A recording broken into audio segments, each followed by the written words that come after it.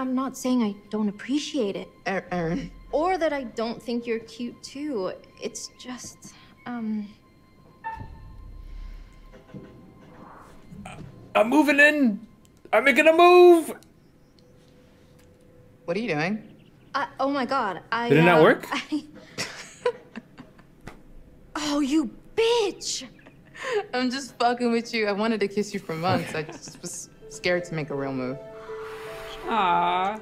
All right, romance. Whoa!